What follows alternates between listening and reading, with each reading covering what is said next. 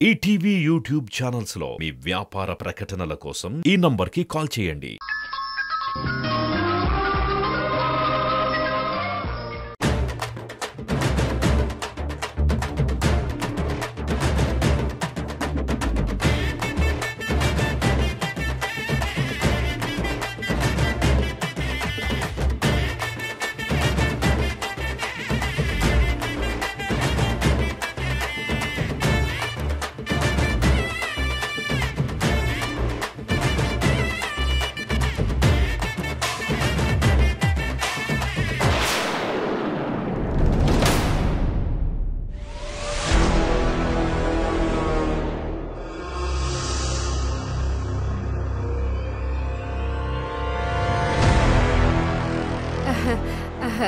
సింధు ఆహా, నువ్వేంటిక్కడ? ఆ ఈ పక్కన చిన్న పనుండి వచ్చాను వెళ్తుంటే మీరు కనపడ్డారు. ఆ, ఏదో బాధపడుతూ ఇబ్బందిగా వస్తుంటే మీకేమైందా అని వచ్చాను. ఆ, ఏమైంది? ఎందుకలా ఉన్నారు? పడక పడక మళ్ళీ దీని కళ్ళలోనే పడ్డానా? దేవుడా ఎందుకు నా జీవితంతో ఇట్ట ఆడుకుంటా ఉండవు? ఏంటి మాట్లాడరు? అబ్బే నాకేం కాలేదు. నేను బానే ఉన్నాను. ఆ, అవును. మళ్ళీ పోలీస్ స్టేషన్ నుంచి వస్తున్నారేంటి? ఆ? ఆహా, అదే సింధు మొన్న చెప్పాను కదా నా ఉంగరం పోయి ఉండదని. దాని గురించే అడగడానికి మళ్ళీ వచ్చుండానా? అబద్ధం.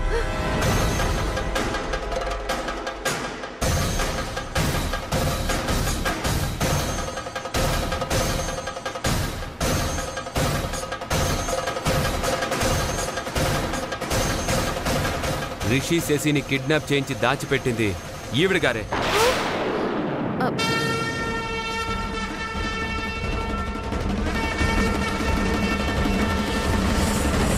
అయ్యో నిజమా? ఏంటి సార్ మీరనేది? కన్యాకుమారి గారు అలాంటి వారు కాదే? చాలా సాత్వికం కల మనిషి. విన్నారుగా సార్ సింధు ఏమందో? సాత్విక భావాలు కల నేను? పిల్లల్ని కిడ్నాప్ ఎలా చేయిస్తాను సార్? ఓవర్ యాక్షన్ చేసావంటే మళ్ళీ నిన్ను లోపలికి తీసుకెళ్ళి మాట్లాడాల్సి వస్తుంది.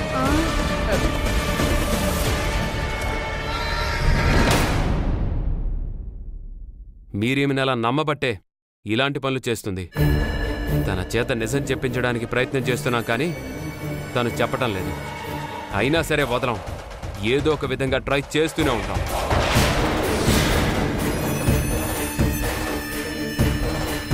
తని నిజం ఒప్పుకొని అప్రూవర్గా మారితే శిక్ష తక్కువ పడుతుంది. లేదంటే రేపు ఈమె కిడ్నాపర్తో మాట్లాడిన కాల్ డేటా ఆధారాలు వస్తాయి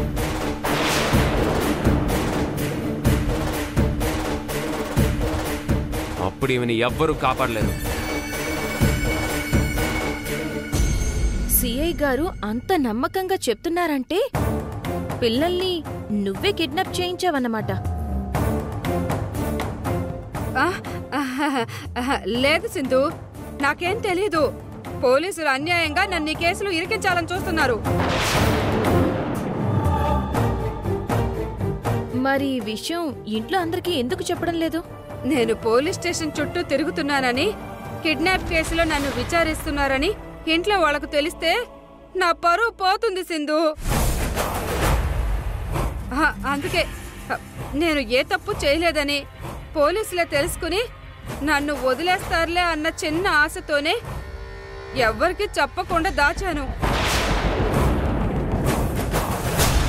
కేసు నుంచి ఎస్కేప్ అవ్వడానికి బాగానే డ్రామాలు ప్లాన్ చేస్తున్నావు అనుకో? అబ్బే. ఇప్పటికేదో నిన్ను వదిలేసావని రిలాక్స్ అవ్వకు. ఈ కేసులో అనుమానం ఉన్న మిగతా వాళ్ళను కూడా పట్టుకొని ఇదే రకంగా ట్రీట్మెంట్ ఇచ్చి ఎవరు చేయించారో కనుక్కుంటాం.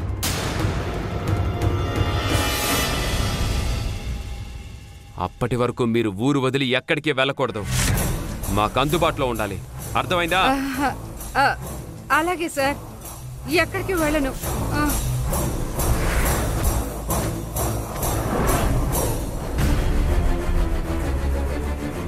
పదండి ఇంటికి వెళ్దాం. సింధు సింధు సింధు. ఏంటి?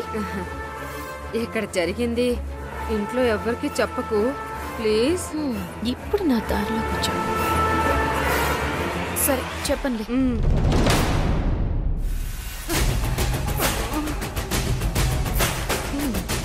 రేపటి నుంచి నీకుంటుంది మామూలుగా ఉండదు.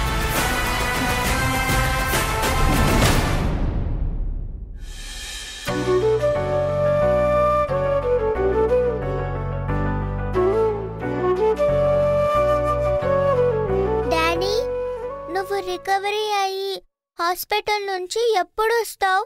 నన్ను మన ఇంటికి ఎప్పుడు తీసుకెళ్తావు?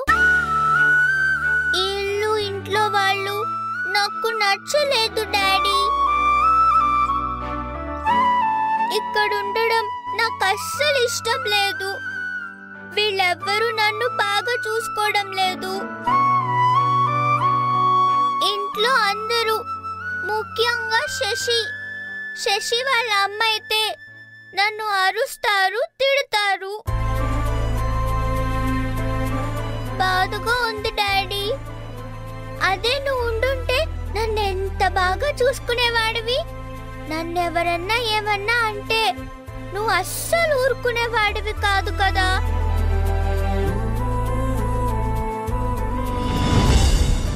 డాడీ! ఆగవే ఆగు.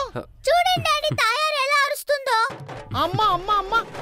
చేయాల్సినంతా చేసేసి మీ నాన్న దగ్గరికి వచ్చి నా మీదే కంప్లైంట్ ఇస్తావా? అను ఏం చేసిందమ్మా? తప్పు చేసిందిరా. నేనేం తప్పు చేయలేదు డాడీ. తనేం తప్పు చేయలేదు అంటుంది కదా?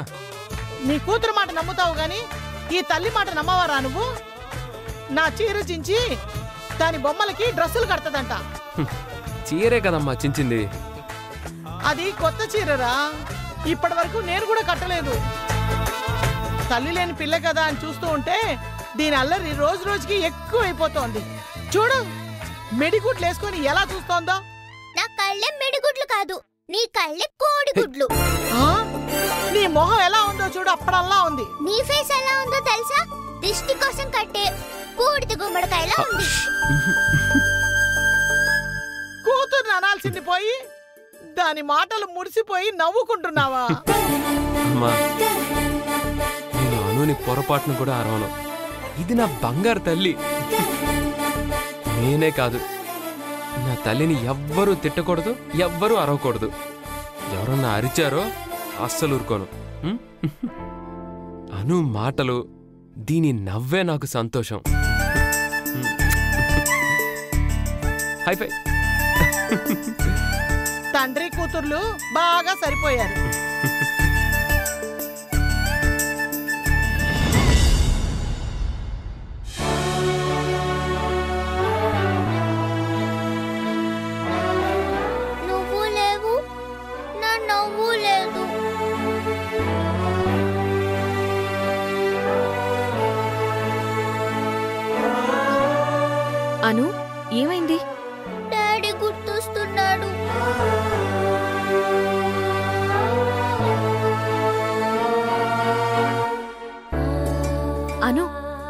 కన్యాకుమారి తిట్టి కొట్టబోయింది కదా.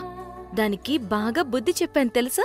ఏం చేసావమ్మా మా అనుని కొట్టబోతావా అని పోలీసుల చేత దాన్ని కొట్టించాను. నిజమా? అవును వీడియో చూపిస్తా. చూడు.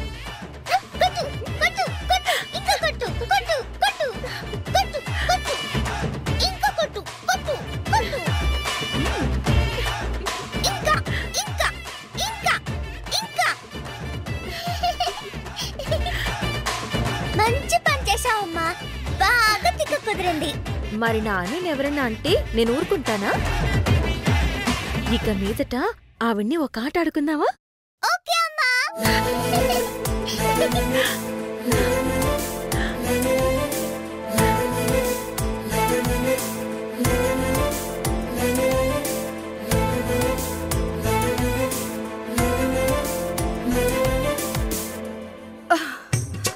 అబ్బబ్బబ్బబ్బబ్బా.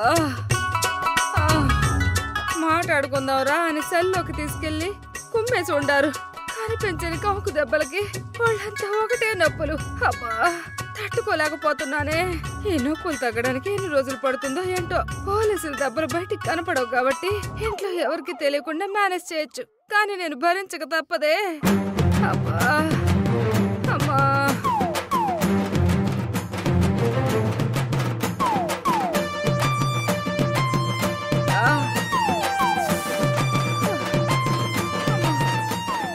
ఏమైందండి? ఆ?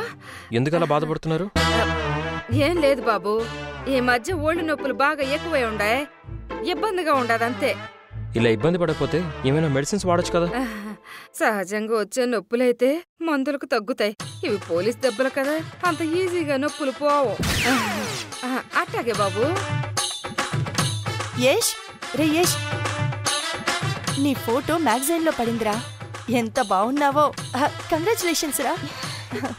ఈ దెబ్బతో నీ పేరు దేశం మొత్తానికి తెలిసిపోతుంది అసలు. ఏంది దేవత? మా ఆయన ఫోటో మ్యాగజైన్లో పడుండదా. ఏది నన్ను చూడండి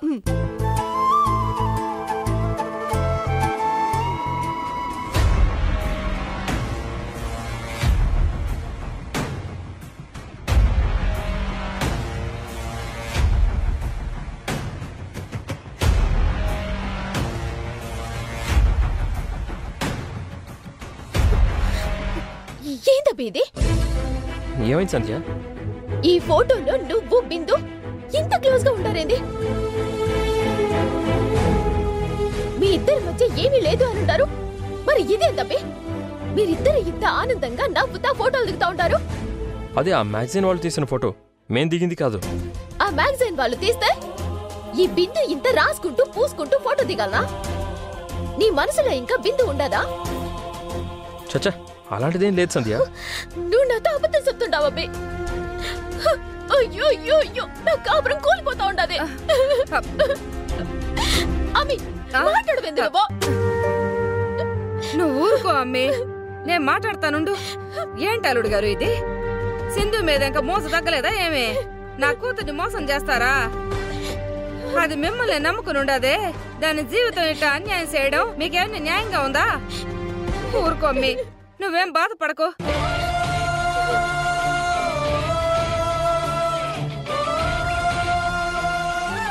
ఇదేంటి? నిజమైన భార్య ఎలా ఎంతో రక్షణ చేస్తుంది? అయిపోయినదమ్మే. నా బతుకు సర్వనాశనం అయిపోయినది. పెళ్ళై పిల్లకాయలు పుట్టిన తర్వాత కూడా ఈ అబ్బీట చేస్తాడని నేను అస్సలు ఊహించలేదు. ఈ మగాళ్ళ బుద్ధి అంతా. నీ కూతురు చాలా ఎక్స్ట్రా చేస్తుంది. కంట్రోల్ చేయి. ఓకేనా? ఇప్పుడు నేను బేబీని కంట్రోల్ చేయకపోతే సింధు పోలీస్ స్టేషన్లో జరిగింది వీళ్ళకి చెప్పేస్తుందో ఏమో. ఇందులో తప్పే ఉండాది? సింధు మీ ఆయన కలిసి ఫోటో దిగితే అల్లుడు గారిని అనుమానిస్తాండవా? ఆఫీసులో ఇద్దరు కలిసి పనిచేస్తా ఉండారు. ప్రెస్ వాళ్ళు కంపెనీ తరపున ఇద్దరు ఫోటో వేస్తామంటే ఏదో దిగుంటారమ్మే.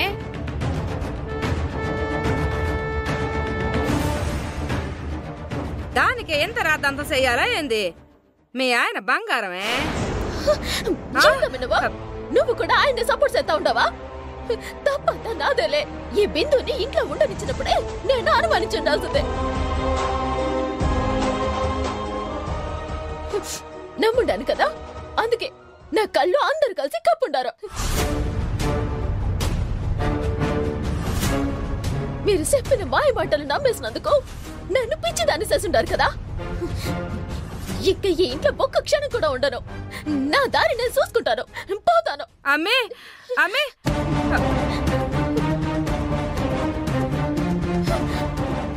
సంధ్య ఆగు. యష్ నేను చెప్పేది విను.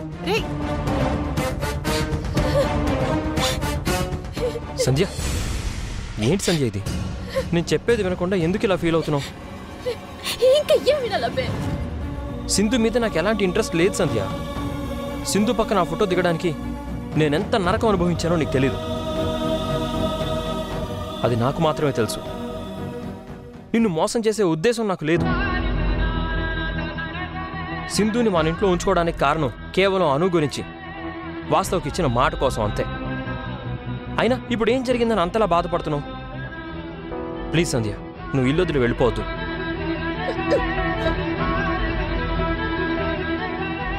సంధ్య ఇంకెప్పుడు ఇలా జరగకుండా చూసుకుంటాను.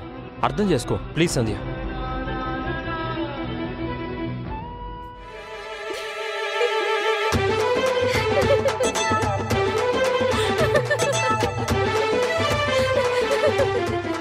ఎందుకలా నవ్వుతున్నావు? ఇదంతా నిజం నిజం కాదా? కాదబ్బి. జస్ట్ యాక్టింగ్ అంతే. నా యాక్టింగ్ ఎట్టా ఉండదు అబ్బి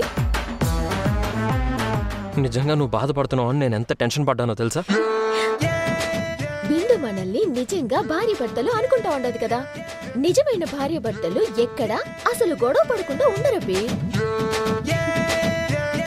చిన్న అవకాశం దొరుకుండాది. అందుకనే వాడేసుకుని నిజమైన భార్యలా నేను ఫీల్ అయిండాను నిజమైన భర్తలా నువ్వు నాకు నచ్చ చెప్పి నన్ను బోధార్చడానికి వచ్చిండావు ఇప్పుడు బిందు ఇంకా మనల్ని నమ్ముతాదబ్బి మన నిజమైన భార్య భర్తలమని. నువ్వు చేసిన హడావుడికి కాసేపు నేను నిన్ను నిజంగానే భార్య అని ఫీల్ అయ్యి నిన్ను బతులాడడానికి వచ్చాను తెలుసా?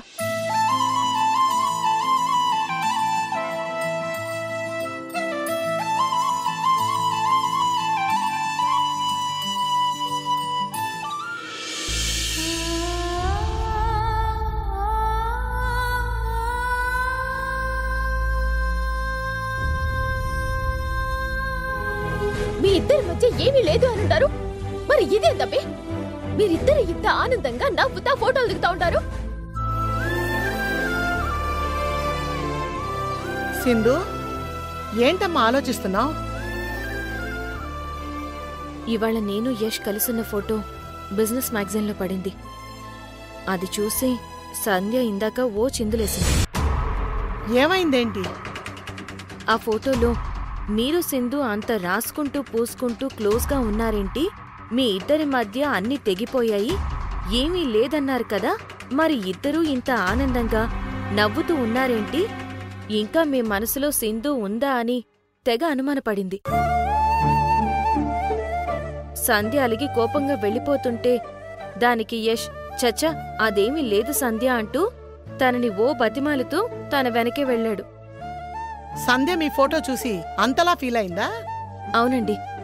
తన భర్త పరాయి ఆడదాని మోజులో పడితే ఏ భార్య భరించలేదు. చూడండి తను ఎంతలా ఫీల్ అయిందో. అదంతా చూస్తుంటే సంధ్య యష్కి నిజమైన భార్యనా? వాళ్ళిద్దరూ నిజంగా భార్య భర్తలేనా? యష్ వాళ్ళమ్మ నాకు చెప్పినవన్నీ నిజాలేనా? రిషి శశి సంధ్యకు పుట్టిన పిల్లలేనా? ఏమీ అర్థం కావడం లేదు. అంతా తికమక్కగా ఉంది. సింధు నీ కళ్ళ ముందు ఎన్ని జరిగినా అవేవి పట్టించుకోకు. నీ మనసులో ఏదైతే బలంగా నమ్ముతావో అదే నిజం.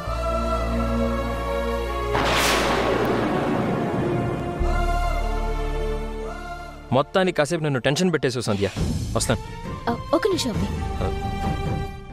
ఏంటి? నీతో మాట్లాడాలబ్బి చెప్పు సంధ్య ఏ అమ్మాయి అయినా కొన్ని విషయాలు మనసు విప్పి బయటికి చెప్పలేదు. అది అమ్మాయిల సహజ నైజం అబ్బే. అయినా సరే ధైర్యం చేసి నా ప్రేమ విషయం నీతో చెప్పున్నాను. నీ మనసులో మాట కూడా నువ్వు దాచకుండా నాతో చెప్పున్నావు. అయినా సరే నా మనసుని ప్రేమని నేను చంపుకోలేనబ్బే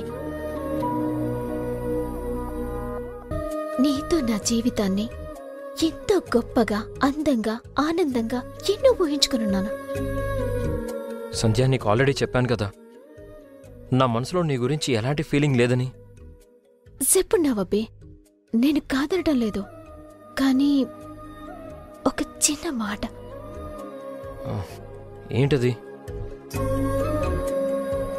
నన్ను నువ్వు ప్రేమించాల్సిన అవసరం లేదబ్బే. కనీసం నన్ను పెళ్ళి చేసుకొని నీ భార్యగా నన్న నన్నుంటని అబ్బే.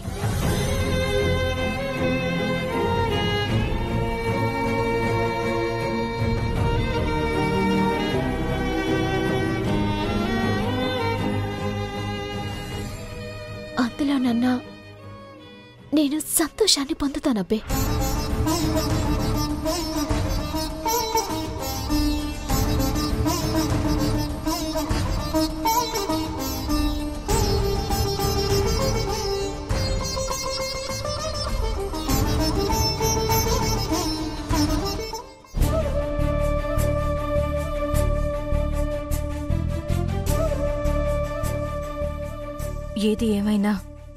సంధ్య నిజంగా యష్ భార్య అవునా కాదా అన్నది త్వరలోనే కన్ఫర్మ్ చేసుకోవాలి. చేసుకుంటాను.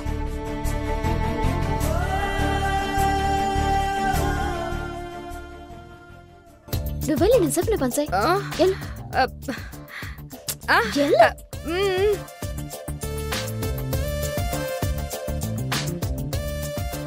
ఆఫీస్కి వెళ్ళటానికి రెడీ అవుతా ఉండవా? నువ్వు ఎట్ట వెళ్తావో నేను చూస్తాను